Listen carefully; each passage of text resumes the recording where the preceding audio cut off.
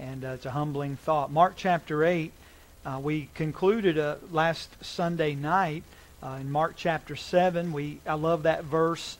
Uh, they were beyond measure astonished in verse 37, uh, and saying, He hath done all things well, and He maketh both the deaf to hear and the dumb to speak. And boy, does He not do all things well.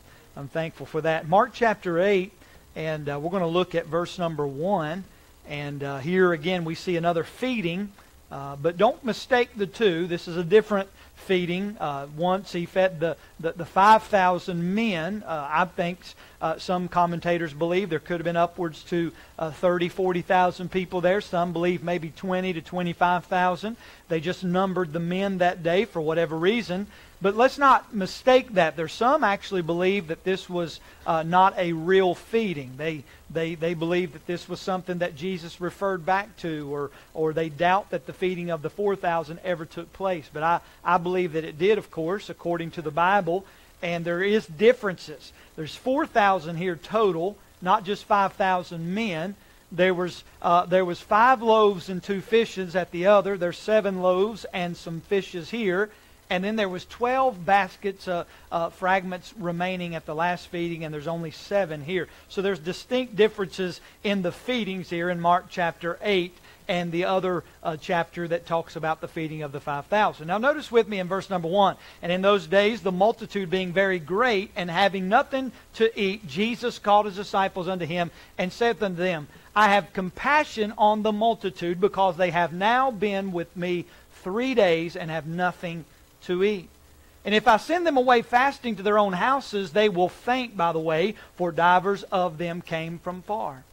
And his disciples answered him, From whence can a man satisfy these men with bread here in the wilderness? You know, you would actually think that the disciples by now would understand that they're with Jesus. And if he did it the first time, these are not different disciples. I'm not sure if they had amnesia. I'm not sure if they were losing it a little bit. But you would think, where, and you can just see him look around saying, now, Jesus, uh, how are you going to feed this crowd? When he had done fed way more. And um, must have been independent Baptist. I'll go on. And so he, uh, verse number five. And he asked them, How many loaves have ye? And they said, Seven. And he commanded the people to sit down on the ground. And he took the seven loaves and gave thanks and brake and gave to his disciples to set before them. And they did set them before the people. And they had a few small fishes. And he blessed and commanded to set them also before them. I think it's interesting that Jesus here prays twice. The first time he only prayed one time with the, the other feeding.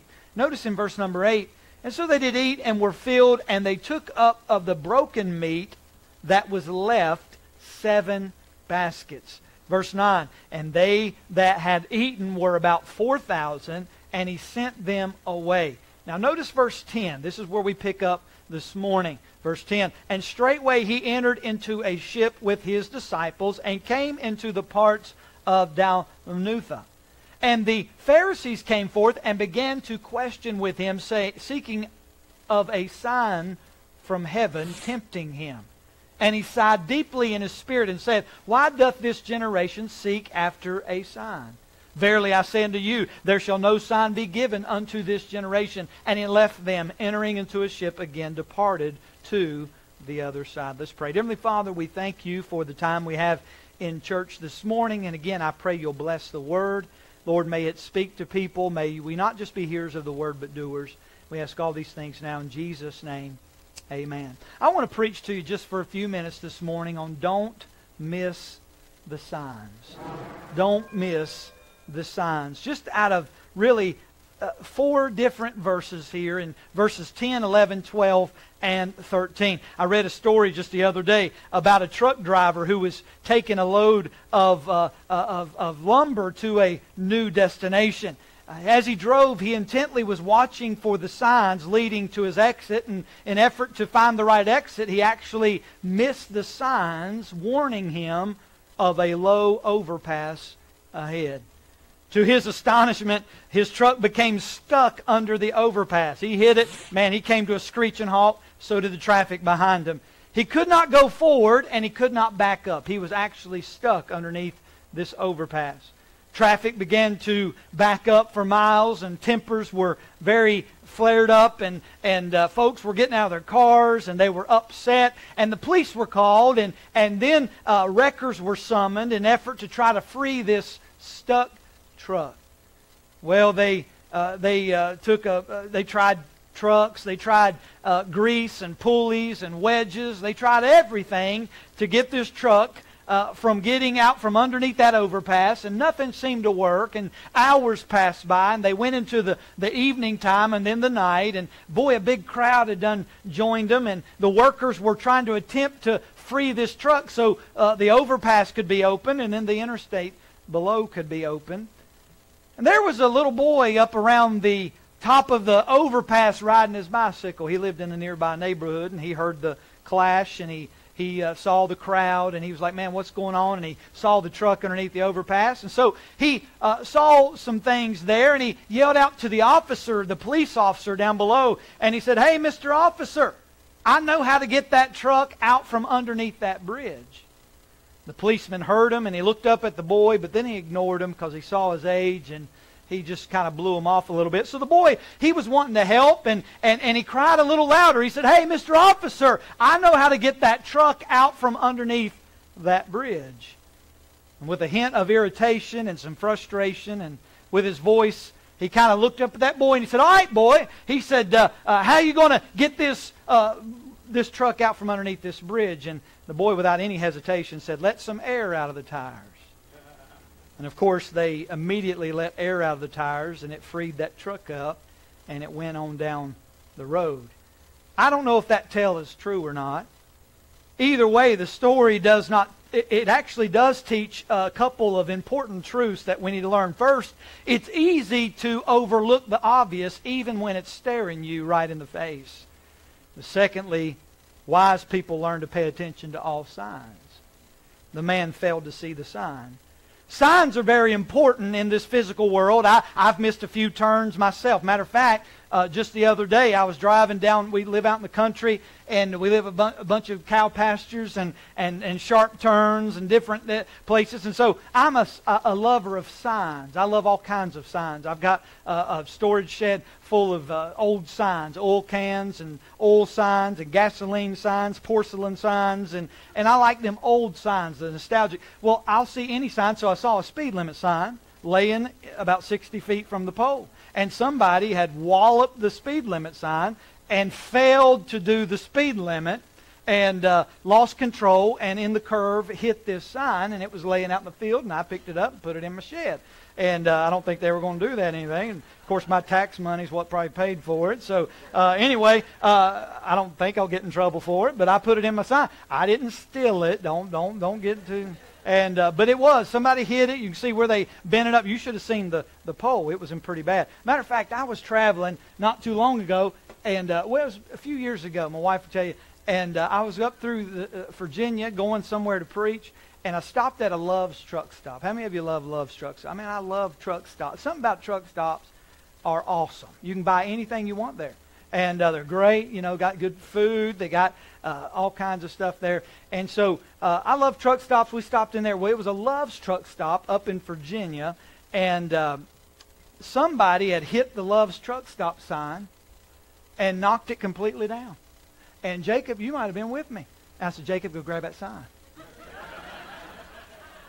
I mean, it was just laying in the middle of the, you know, and it was broke and they weren't going to use it. I said, Jacob, go get it. And we threw it in the back of it. So I got home. We had this Love's truck stop, uh, truck sign in the back of my. And Rebecca was like, "What are you going to do?" I said, "This is going to be a place of love." And it says you can park here, Love's truck stop. So in the in the in our building we have parking for Love's truck stop right there. And somebody had just plowed it and broke the sign, and we kind of put it back together. And so, uh, pole and all, it was great. And uh, so I love signs. I, I, I don't always look for them, but sometimes they find me, like this guy. 30 mile an hour. Somebody didn't really pay much attention to the sign, but they, they, they found out real quick that uh, that they wasn't doing the speed limit, and it looked like they hit a fence and plowed through a field, got back on the. I mean, buddy, somebody was doing pretty fast or drunk or something, and they hit the sign. And I was thinking, man, somebody's not paying attention to the sign right in front of them. Well, you know, it kind of spawned a, a thing here in the, just these few verses here that Jesus was actually standing in front of these Pharisees, and he's, these Pharisees, look at verse 11 again. Uh, notice what happens. He enters into the ship. He goes to the other side of this, uh, of parts of uh, Dalmanutha, and he says this in verse 11. And the Pharisees came forth and began to question with him, seeking of a sign from heaven, tempting him. So the first thing we come to is a stern demand. These Pharisees, and we know what they are. The Pharisees are just a bunch of uh, religious, conservative, uh, legalistic men that have the outside cleaned up, but the inside is nothing but filth and vileness and lost and empty. And, and they're wanting to question Jesus. Now, that questioning, if you notice that phrase, they begin to question with him. The word question there means to dispute or argue. And the word is a tense that suggests that they just wouldn't shut up. They wouldn't go away. Jesus is standing there. He done fed the 4,000 people. They're probably still wiping the crumbs off their mouth. And these Pharisees, uh, when he gets off the ship, these Pharisees come and they approach him and they say, Hey, we want to see a sign. We want you to do something so we'll believe that you really are who you say you are. And they wouldn't go away. Here's what they said they said, uh, uh, We want you to uh, show them a sign from heaven. The Bible says that they were tempting him in verse 11, and that is that they were putting him to the test. Now, here's what they were doing they were trying to get Jesus to prove his authority and his source of power. Now, if they had just been present just a minute ago where Jesus had took some loaves and two small fishes and he fed 4,000 people, they could have seen that this man is not some regular man. This is Jesus. After all, we know Jesus is of God. And there surely he could, this is what they're saying, surely he could do some wonder in the sky above and, and prove what he is. And other men of God, they went back to the Old Testament. I'm no doubt in my mind, these men went back to the Old Testament. They said, well, Joshua did something.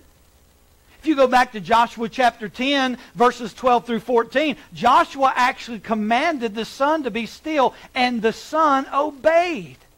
Now we know who was behind all that. God was behind all that. But the Pharisees didn't know. They said, if Joshua did it, surely Jesus can do it.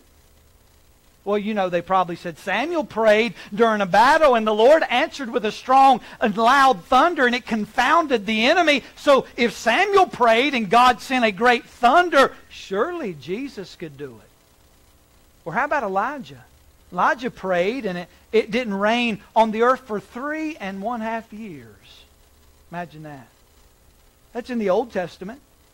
So these Pharisees, of course, they had memorized the Old Testament and they followed these Old Testament prophets and these Old Testament patriarchs. And they thought, well, surely if Jesus is the Son of God, then he could stop the sun. He could do something. Others had done dim- different things in the past to prove that they are from the Lord. And what these men were really trying to do was to get Jesus to promise more than he could deliver. They wanted to trip him up. They knew all the things that he had done with people, casting out demons and multiplying food. They were trying to get him to attempt a miracle and fail so that they could denounce that he was a actually false prophet. They were also saying that all the things that Jesus had already done in the power of God were insufficient. Now think about all that Jesus had already done.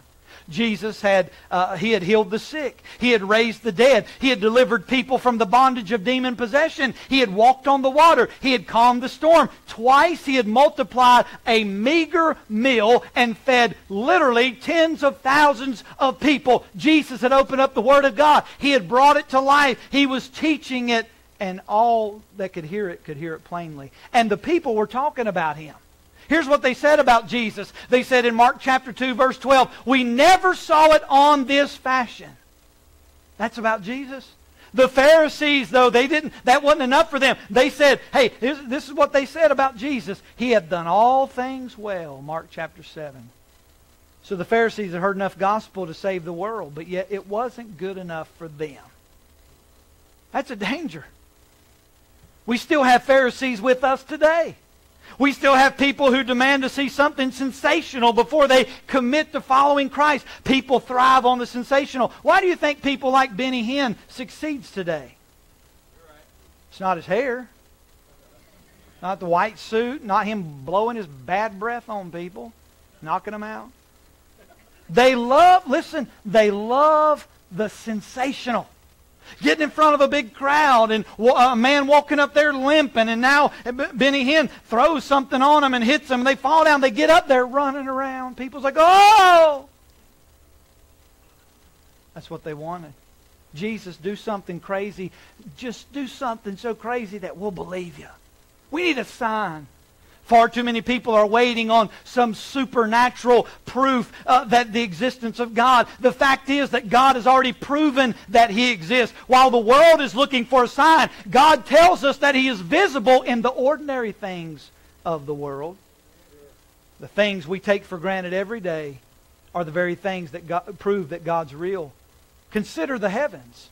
Psalms chapter number 19 in verses 1 through 4. The heavens declare the glory of God, and the firmament showeth his handiwork. Day unto day utter the speech, and night unto night showeth knowledge. There is no speech nor language where their voice is not heard. Their line is gone out through all the earth, and their words to the end of the world. In them hath he set a tabernacle for the sun. Think about the handiwork of our God. Uh, we had a group yesterday come back from the Creation Museum. No doubt they could leave that museum thanking God for His creation. Man, only God could do this. Only God could do this. But hold on a second. I did a little research. I, I, it's been a lot, while since I've been to science class. Many of you as well. Science was not your favorite subject, nor was it I. But I know this. I know that science proves that God is who he says he is. See, our earth is traveling around on its own axis at 1,000 miles an hour. It moves around the sun at 67,000 miles per hour. It is carried by the sun across our galaxy at a speed of 64,000 miles per hour. It moves in orbit around our galaxy at 481,000 miles per hour. It travels through space, listen to this, at 1,350,000 miles per hour. God created that. Every 24 hours, we cover 57 million three hundred and sixty thousand miles. Each year we travel twenty billion nine hundred and thirty-six Mil- oh, my goodness, I've never seen a, a, a one that big. 20 billion, 936 million, 400,000 miles across empty space. Every moment in the billions of galaxies in the universe occurs with the precise split second timing. Consider the vastness of the universe. It is so vast that it takes a beam of light which travels some 700 million miles per hour or 186,411 miles per second over 100,000 years just to cover the length of our galaxy. The Milky Way and our galaxy is one of only many billions in the known universe.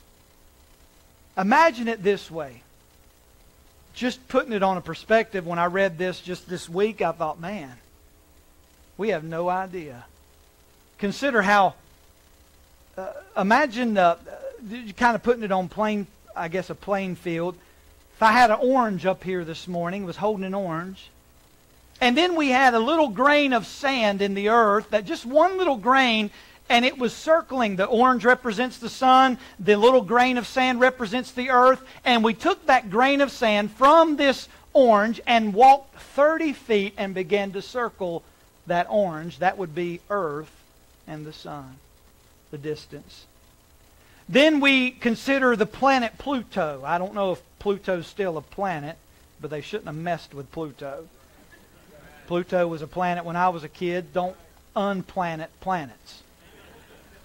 I don't know who sits around and gets paid to not consider Pluto planets. That kind of ticked me off a little bit when I read that last night. Whoever doesn't think Pluto, and if you don't think Pluto's a planet in here, You need to get right with the Lord. Pluto, the most remote planet in the solar system, is another grain of sand. You think about that. Take another grain of sand. You got Earth at 30 feet away from the sun. You take another grain of sand circling the orange at 10 city blocks away. That would be from here to Lowe's Hardware. Then you take the fourth thing, the Alpha Centauri, which is the nearest star. So you've got Earth 30 feet away. You've got, you've got uh, Pluto, who's still a planet. He's, at, uh, he's 10 city blocks away down at Lowe's in Cracker Barrel, probably at Cracker Barrel, and uh, down that way. And then you have the Alpha Centauri, the nearest star, is 1,300 miles away from the orange. That means that little grain of sand from this orange that I hold in my hand would be in Denver, Colorado. That's how big the universe really is. Now, for those that would say, yeah, well, all that happened on accident, it takes more faith to believe the evolution theory than it does to believe God created. We consider how small our universe is. All matter of the universe is made up of atoms. You learned that in, in, in the uh, science class. And there are uh, many atoms on the head of a ink pen. Take out an ink pen, you get the, the head there, and you look at that and you think, well, how many atoms could fit on the head of an ink pen? There are so many atoms on the head of an ink pen that if an army marched past four abreast, every soldier carrying one atom it would take that army 20,000 years to march past. Oh, we serve a big God who made a big universe, but also the little things. Oh, yeah, well, the fact is, a lot of people say, yeah, but I need more. You ever just walked out on your porch and looked out, or maybe, maybe just maybe you visited on vacation, you went somewhere and you just looked out and you just looked up into the heavens. Maybe it was a beautiful day. Maybe you looked at night and seen all the stars. I don't know about your house, but I know we don't have uh, hardly anybody around us much, so there's no street lights. And you walk out there in the middle of our yard on a clear night, maybe in the fall or the winter, and you look up there and you can just see those stars. You see that moon, and you almost reach out and grab one. Boy, it's beautiful. How could you say there is no God? Oh, that just happened to fall into place. Oh, no, friend. God said, You can declare the, my existence in my handiwork. We see these, fact is that these signs and many more are proof and positive of God's existence. To reject God and to reject His Word while you claim to be waiting for a sign is nothing more than rebellion against God, according to Romans chapter 1. If you're looking for a sign today, look no further than Calvary. Hey, if you're looking for a sign today, uh, look to the cross and God's love for sinners in Romans chapter 5. If you're looking for a sign today, hey, look no further than the empty tomb. Hey, I was just there a few months ago and I peeped my head inside and guess what? He's not there. Hey, if you need a sign, you know, if I would have went to the tomb and they said, here lies the body of Jesus uh, from this date to this date, hey, and we could have said, well, he's in there and we hate that. Hey, but can I tell you, that stone was rolled away and up from the grave he arose. I don't need a sign. Hey, he's living today. If you need a sign pointing to God, hey, look at the Bible you have in your lap. It has survived attack after attack of God. And can I tell you, it clearly points to the way of salvation. If you're looking for a sign to prove uh, the claims of the Bible and the Lord are real, just look around you at the lives that's been changed. We see a solemn declaration. Look at verse number 12.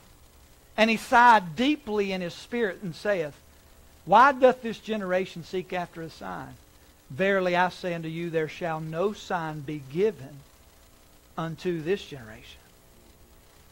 When Jesus hears their demand, their questioning, it grieved his soul. You know, that word sigh means a, a groaning in his soul. He, it was frustration, perhaps a little bit of anger. And he questions, he says, Why doth this generation seek after a sign? Hey, this was a question born out of amazement. After all, that generation had the greatest sign in the midst. Right there stood Jesus himself. We don't have that sign today. Uh, we're living by faith, and we have to look uh, at what Jesus did in the past. We have the Word of God. Hey, there they had the Word of God in the flesh, and they still missed it. Jesus said, He that hath seen me hath seen the Father. John 14, 9. But when men looked at Jesus, what did they see Jesus uh, as instead of the Father? They saw him as a devil. Mark chapter 3, they said he was a son of the devil, a, a son of Beelzebub. Jesus the, these generations, John chapter four, uh, 1 and verses 1 through 14, the generation had seeking after a sign, and they could not come to the truth that was standing right in front. And this is how John even describes Jesus, that he was God, in the beginning was the Word. Hey, he said right off the bat, the first verse in, he says, uh, the Word of God was made flesh. Hey, he is the Word. Jesus is the Word of God. Hey, Jesus said that if you've seen me, you've seen the Father. And that generation had all the signs, but they failed to see the truth. Can I, there's a couple of things that I got out of this. The first thing was signs. When a sign is given, another sign is desired. So when someone sees a sign, they say, well, if that's one sign, I guess there's got to be another sign.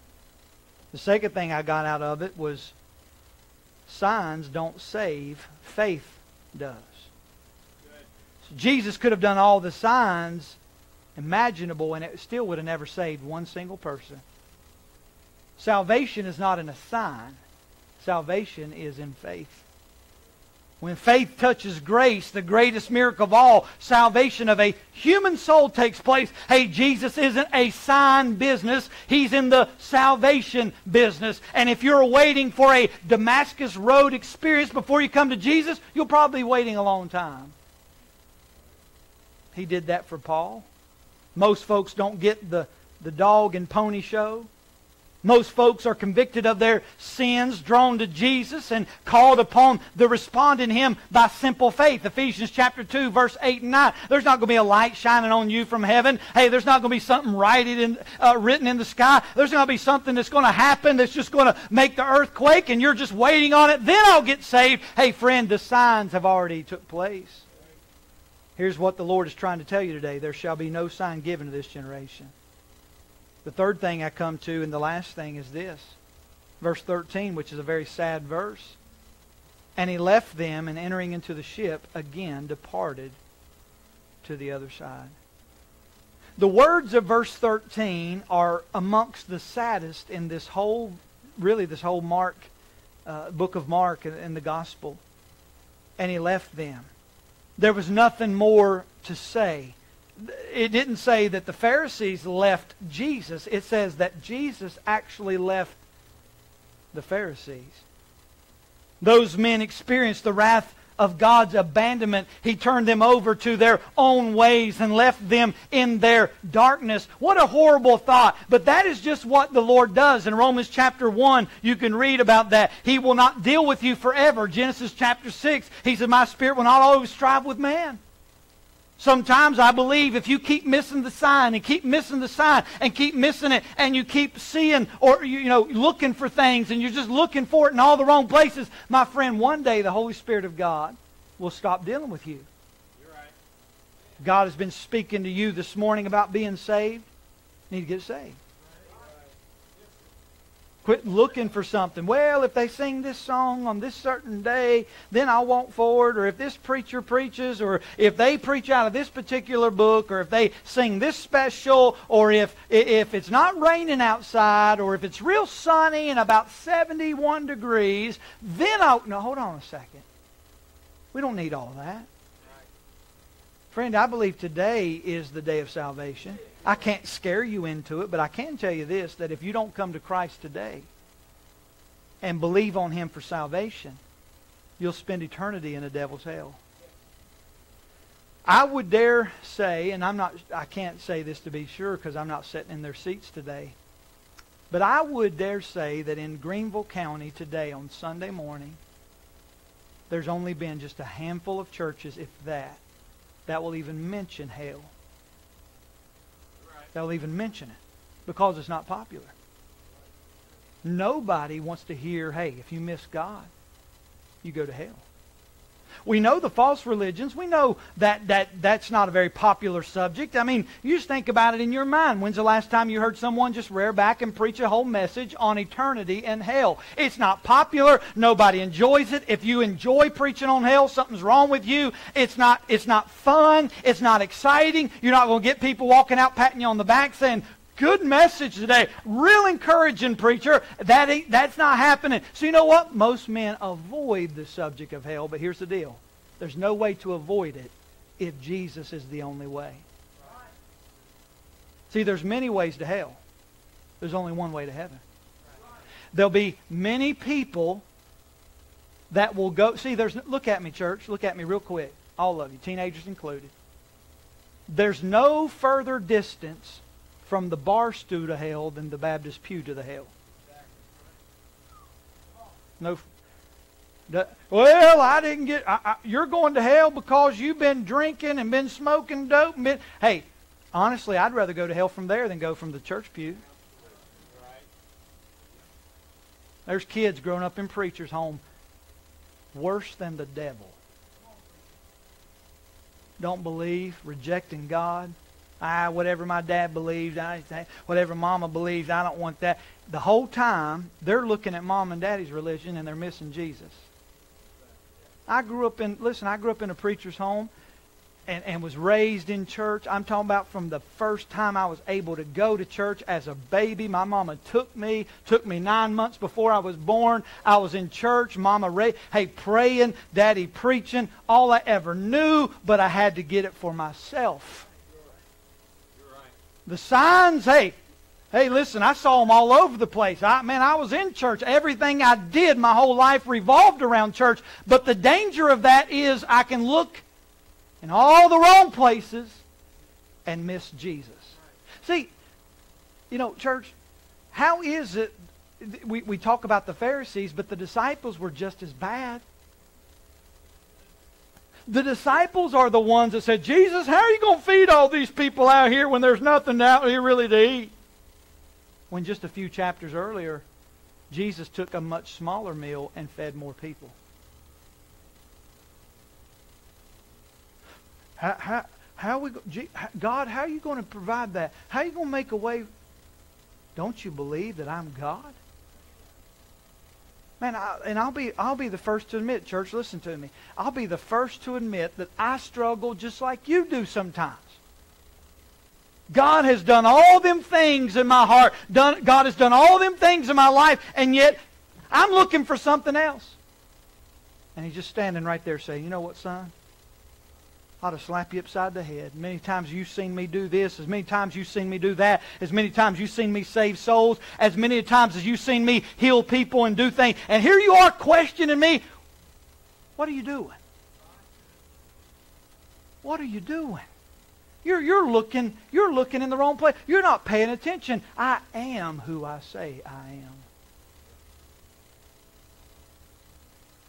I want to ask you this morning is this. If you don't know Christ as your Savior, won't you come to Him today before while there's time, before it's too late? Come to Jesus and be saved. Come to Jesus today.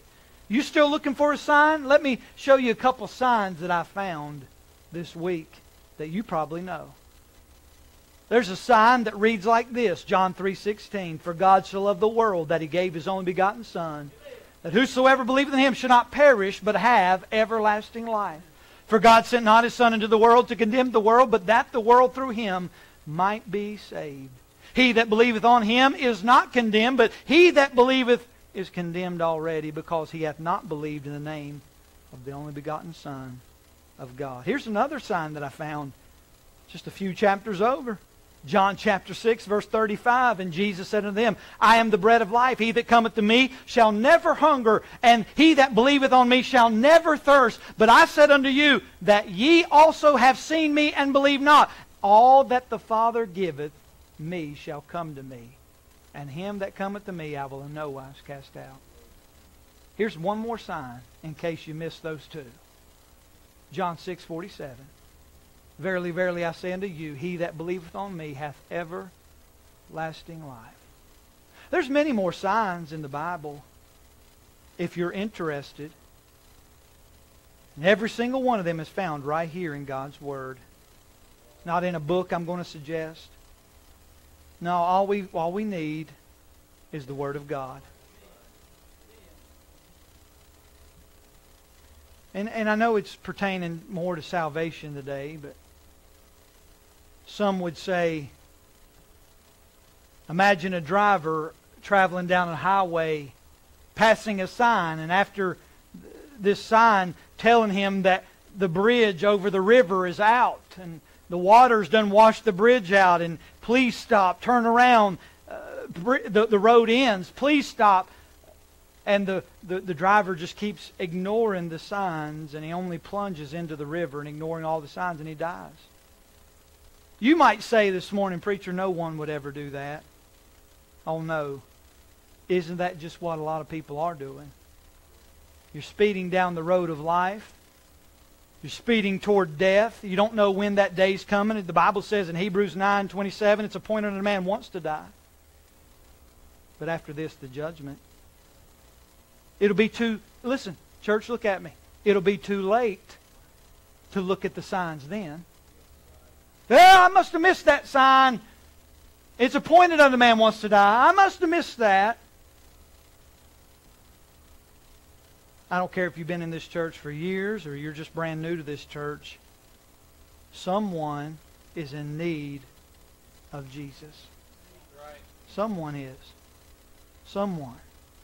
Someone needs to heed the warnings of, of hell. Someone needs to heed the warnings. Jesus was standing right in front of those Pharisees and even the disciples. And all Jesus was trying to do by proving these miracles and showing these miracles was to show the Jews that he is the Messiah. And they would not heed. And you know what Jesus did? He left. Jesus left. You know what I believe Jesus is doing today in a lot of churches? He's leaving. He's not welcome. You know what Jesus is doing in a lot of families today? He's walking out. Hey, he stands at the door and knocks. Revelation chapter 2, right? He's not knocking on the heart of a, of a lost person trying to get in. He's knocking on the heart of the church. Hey, I stand at the door and knock. If any man will hear my voice, open the door. I'll come in and sup with him and he with me, and we'll just have fellowship if you'll just let me. I need to come in. I'm the sign. I'm the one. Hey, quit looking for everything. You know what the church said, though? Uh, we're in need of nothing. We've got it all. J- Jesus, we're, you know, we're good. We've got it all, man. We're growing, and we've got padded pews and air conditioning, and we've got we've got all the stuff that we need. We we got money, and we've got it all. And Jesus, we don't need you. You can just stand there and knock. You know what Jesus is going to do? He's going to go away. Right. Church, if you were invited to something, and when you got there you didn't feel welcome, Maybe someone invited you to supper and maybe you got there and they just wouldn't talk to you and didn't really have nothing set out for you and you just they just you just felt like that you were bothering them. You wouldn't stay long, would you? I wouldn't. I remember one time I was preaching somewhere and the preacher said, Hey, you want to grab a bite to eat after the service? And it wasn't late. I don't like it when it's 10 minutes before closing and you got 14 people walking in. Um, you know, uh, the, the waitresses don't like that either, and uh, they want to go home. So usually, if it's a little amount of time, I'll say, you know what, we're just going to find something on the road through a drive-through, and because uh, I don't, I've been on the other side of that. I waited tables my way through college, and I hated it when someone came in late. You say, well, you're open till ten o'clock, aren't you? Yeah, and I can also do something to your food. No, I'm just, and uh, never did that. Anyway, uh, but they, they can, so don't don't don't don't make them mad. So usually I'll say, you know what, we're just going to go on down the road, go through a drive-through, and we'll find some food, and uh, I ain't going to bother anybody, let them go home. So uh, we were walking into a restaurant. It was probably maybe 30 minutes. 30 minutes is I can eat. 30 minutes we can leave. We'll, we'll be good. Eat something simple, and uh, we'll be on our way. Well, I walked in the, the, the, the hostess there, she rolled her eyes. That wasn't a good sign. They must have had a rough day that day. I'm not sure. Maybe it was a long day, and So she immediately, when she saw just me and a, another preacher, it wasn't a big party, just two people, and I and, and, and immediately when she saw the door open and looked, and we were walking in, and we were just kind of you know trying to be courteous and and not bot. What time do you close? Oh, we make sure we got plenty of time. Y'all okay? Uh, she rolled her eyes and didn't say nothing. Grabbed some menus, and uh, you need some crayons. You know, no, she didn't do that. And uh, but uh, you know, we sat down. We were going to eat and uh, man, the, the, the waitress was upset. It just looked like, and I told the preacher, I said, listen, before we order, we might want to rethink this. They don't want us to come. He said, you know what? I got that feeling too. I said, you want to just go somewhere else? You know what we ended up? Waffle House, because they'll take anybody. can I get a witness? You can fight and kill each other, and they still going to serve you. And you can watch it happen. Always welcome at Waffle House. We went to Waffle House and had good fellowship. Hey, you know why? We left and we were polite. We didn't make it, we just left because we did not feel welcome. Don't you think Jesus feels the same way?